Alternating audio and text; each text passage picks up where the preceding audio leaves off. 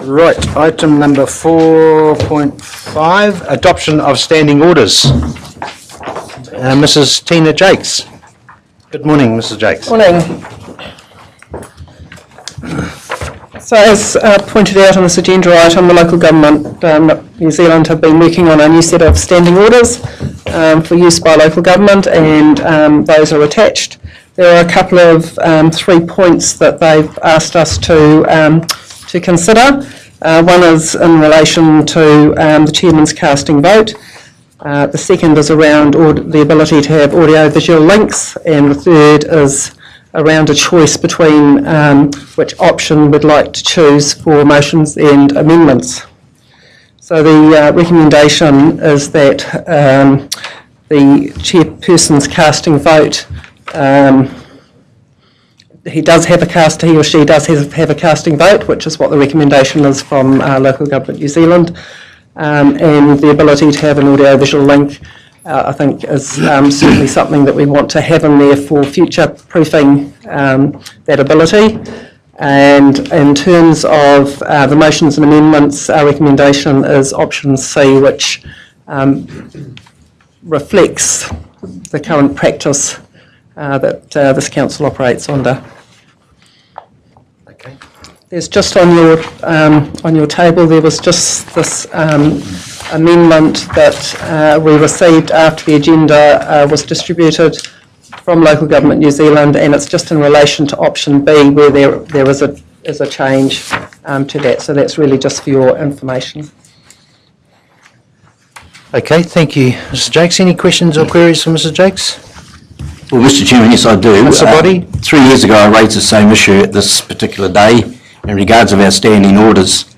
Um, The thing that concerns me, and, and I need to be corrected on this, if we go to page 20, 28 of the agenda, uh, it states we have uh, an amendment, or two amendments.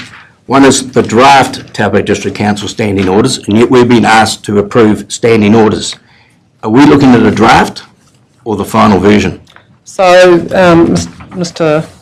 Mr. Chairman, the, um, when, when a document's put up to you, it's in a draft form, and when you've moved the motion, it becomes the Substantive. substantive one, yes. Could I ask the question, when did we as a previous council, or the previous council, get the draft to go through? The reason I raise it is the old one, which is this one here, has 55 pages, the new one has 77.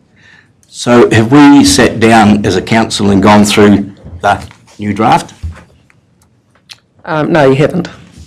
Could I then go back three years ago when this issue was raised and the legal person at the time came into the, the chamber and spoke about the review that's come up and what we've got before us now and say that eventually we'd have a new one um, with some changes.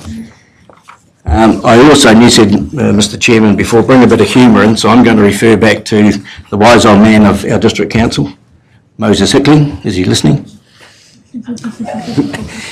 Three years ago, in this debate that we had, councillor Hickling at the time said, and I'll read it out word for word basically, adopt the provisions of standing orders, i.e. the ones that we've got now at that time, which is what I'm asking for, until the new- standing orders uh, would come through. And that was the suggestion of um, councillor Hickling. So I have moved uh, an amendment, and I don't want to go into the changes that I don't agree or disagree with. I am once again bringing up that we, as a previous council and a new council, have not gone through this draft. There may be things we like in it, we don't like in it. It's not the Bible. It can be amended. So I would like to move that we continue with our existing standing orders until a public workshop or some other public forum takes place to go through these new standing orders, and I would move that way. How the councillors feel about that? Um, Standing orders, I presume, is the standard template from Local Government New Zealand? That's correct. Yeah. So is there, is there mind of the councillors, they want to change the national template on this? There will be some um, training opportunities, uh, as this is quite new. They have, uh, Local Government New Zealand actually haven't um, put out the dates for, for that training yet, so there is an opportunity um, to attend that training to have a look at the standing orders. And again, um, at any time, the standing orders can come back to council to be, um, to be changed. You need 75% of, uh, of those present to, to change those. Okay. um, Do, do all councils use these same set of standing orders? Uh, That's the aim of uh, this in terms of Local Government New Zealand, as a template for all councils to use.